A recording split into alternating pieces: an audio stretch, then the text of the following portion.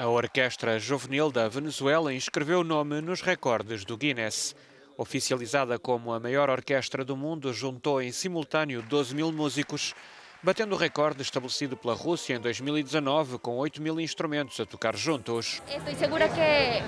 Tenho a certeza de que se uniu todo o sentimento nacional. É isso que faz a orquestra e a família que a compõe, juntar os que estão fora com os que estão dentro do país. Tenho a certeza de que é um grande feito para a Venezuela. A mega orquestra estabeleceu um novo recorde com uma representação da Marcha Eslava de Tchaikovsky, posta em cena no pátio da Academia Militar da Venezuela, na capital, Caracas. Os mais jovens músicos têm apenas 12 anos de idade e a orquestra foi dirigida pelo maestro Andrés Ascanio.